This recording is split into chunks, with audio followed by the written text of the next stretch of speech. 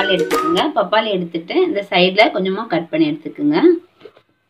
Cut பண்ணி எடுத்துட்டு இந்த மாதிரி கத்தி வச்சு உள்ளே வந்து எடுத்துக்கோங்க. இதில் வந்து விதை இல்லை. விதை இருந்துச்சுன்னா என்ன பண்ணிங்கன்னா கொஞ்சமாக தண்ணி ஊற்றி அந்த விதையை வந்து லைட்டாக இப்படி அலசி விடல. ஒன்று ரெண்டு விதை இருக்குது இப்படி விட்டு கழுவி எடுத்துடலாம். இந்த மாதிரி கழுவி எடுக்கும்போது விதையெல்லாம் வந்துடும் பாருங்கள் இந்த மாதிரி விலை விதையெல்லாம் வந்துடுது அதுக்கப்புறம் நம்ம என்ன பண்ணலான்னா பண்ணலான்னா இந்த மாதிரி ஸ்போர்க் ஸ்பூன் தான் எடுக்கணும். எடுத்துட்டு உள்ளே நல்லா பழுத்திருக்கும் இல்லையா? அதெல்லாம் அப்படியே சைடில் இது பண்ணி உள்ளே வந்து எல்லாத்தையும் வந்து ஆட் பண்ணி விட்ருங்க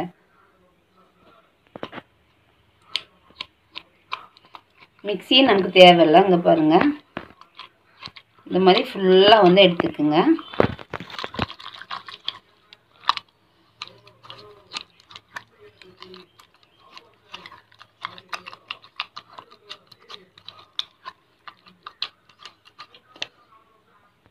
இப்போ பாருங்கள் உள்ளே உள்ள நல்லா இங்கே பாருங்கள் இந்த மாதிரி க்ரீ க்ரீமியாக வந்துச்சு. இப்போ என்ன பண்ணலான்னா நன்னாரி சர்பத் உங்கள் வீட்டில் இருந்தால் நன்னாரி சர்பத் வந்து கொஞ்சமாக ஆட் பண்ணிக்கோங்க. இப்போ வந்து நான் நன்னாரி சர்பத்தை ஆட் பண்ணிக்கிறேன். அது இல்லைன்னா நீங்கள் என்ன பண்ணலான்னா ரெண்டு டேபிள் ஸ்பூன் சர்க்கரை போட்டுக்குங்க.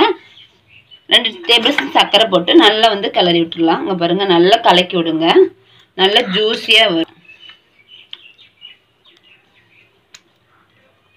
இந்த மாதிரி நல்லா கலக்கி விட்டுட்டு அதுக்கப்புறம் என்ன பண்ணலான்னா சப்ஜா விதை ஊற வச்சுருக்கேன். இது தேவைன்னா நீங்கள் சப்ஜா விதை வந்து ரெண்டு டேபிள் ஸ்பூன் ஆட் பண்ணிக்கோங்க. ஆட் பண்ணிவிட்டு கொஞ்சமாக பால் வந்து நான் வந்து பால் வந்து ஒரு டம்ளர் எடுத்து வச்சுருக்கேன். நல்லா காய்ச்சி ஆற வச்சுன பால் அதே வந்து உள்ள நல்லா ஆட் பண்ணிக்கலாம். எவ்வளோத்து உங்களுக்கு பால் தேவையோ அவ்வளோ ஆட் பண்ணிக்கோங்க. ஆட் பண்ணிவிட்டு நல்லா வந்து மிக்ஸ் பண்ணி விட்ருங்க எந்த அளவுக்கு மிக்ஸ் பண்ண எந்த அளவுக்கு நமக்கு பால் தேவையோ அந்த அளவுக்கு பால் ஊற்றி நல்லா வந்து மிக்ஸ் பண்ணிங்க. மிக்ஸ் பண்ணினா பப்பாயா ஜூஸ் ரெடி ஆயிருச்சு.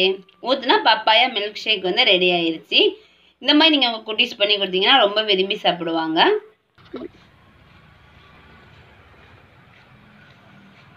சூப்பர்.